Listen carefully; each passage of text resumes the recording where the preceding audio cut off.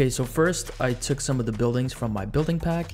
If you want these buildings, you can get them on Patreon or Gumroad and started modifying them to look a little bit bigger, like taking the rooftop structures and scaling them down and duplicating them.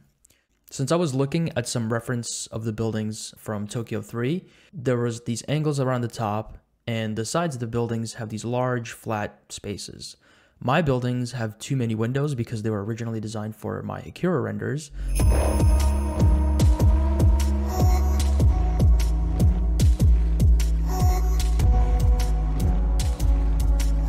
So I created some geometric planes to cover them up. I took some of the concrete textures from this big medium small asset because it had the perfect grungy industrial look. I ended up squishing the buildings by half in one direction just to give it some more variety for later. Then I added a bit of variety to the roof structures and added these antennas with red lights on top.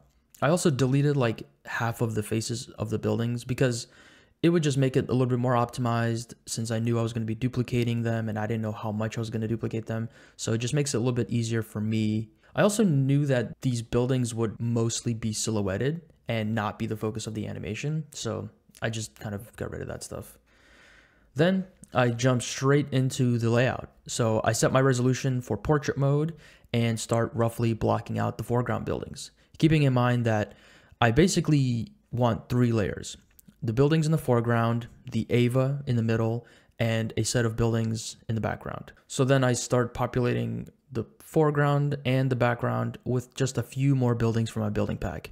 If you want these buildings, you can get them on Patreon or Gumroad. Uh, I take a couple of these buildings and modify them more here and there to make them look a little bit more blocky like they do in the reference. After I'm happy with the buildings for the most part, I bring in the Ava. Once I had all the elements in place, it was time to start getting an idea for the camera movement.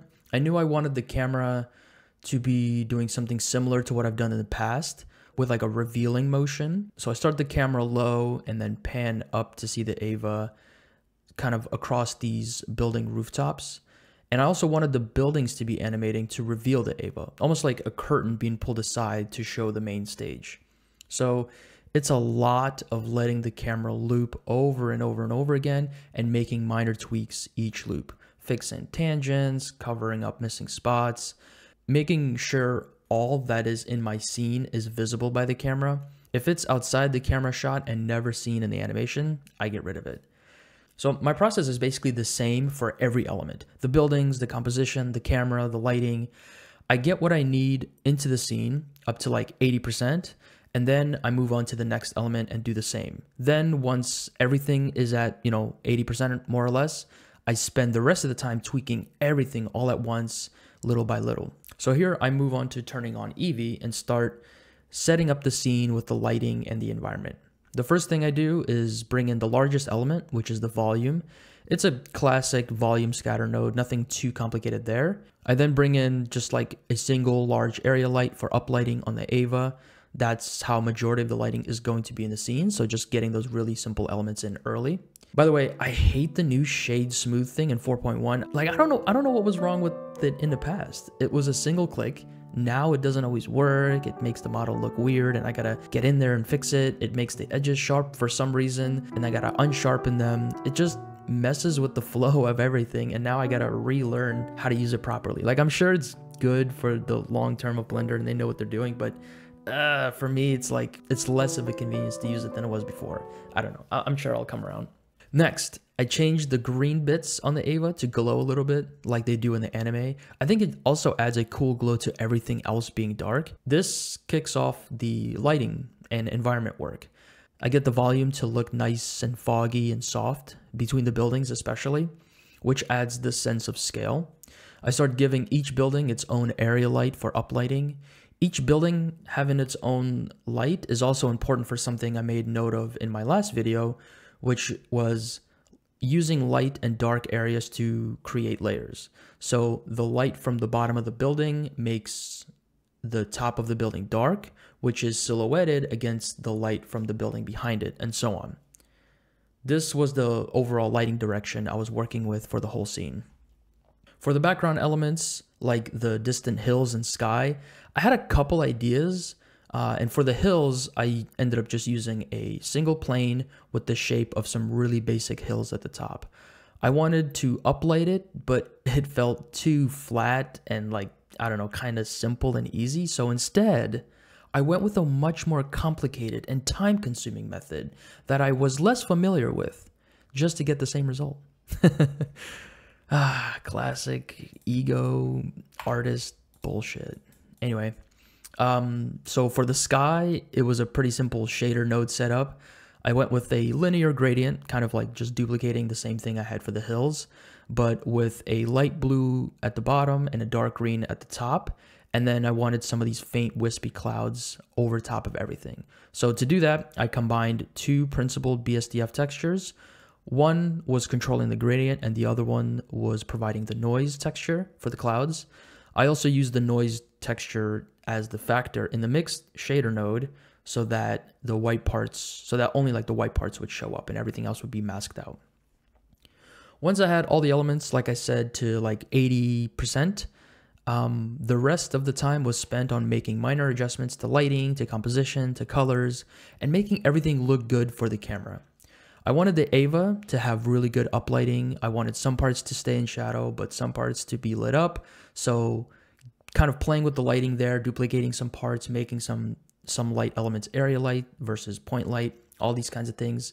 Um, then at one point I tested having some of the angels in the scene. I won't even try to pronounce this one's name.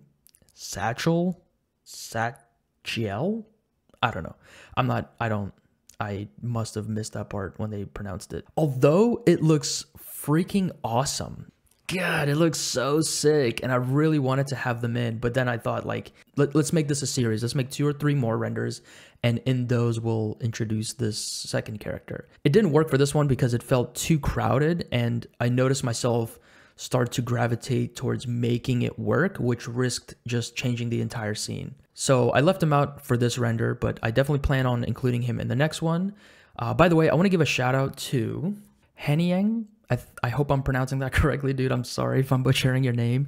Uh, trust me, I know what that feels like. so he is the person that I'm essentially doing this collaboration with. So he went straight into making the angel model, uh, textured it, rigged it, everything like that. He even went out of his way to rig the Ava model that I had, which was previously unrigged. So, you know, just what a, you know, what a nice and talented and handsome guy. Uh, this guy's awesome. Definitely follow him. He's super, he's a, he's a concept artist. He's awesome. Just, you, you should be following him if you're not already.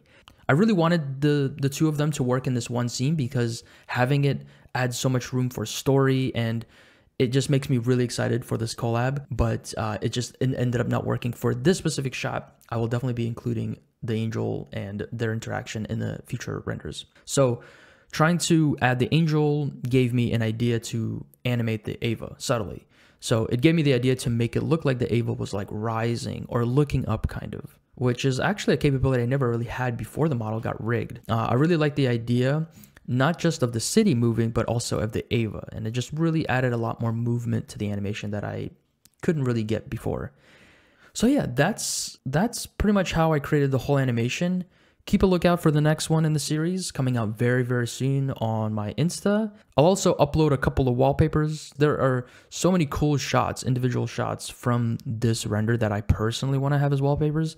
So I'll go ahead and share them with the community too. If you want to stay updated on my work, Patreon and Insta are probably the two best places. Uh, Patreon just has a lot more like behind the scenes content, files, all this kind of stuff.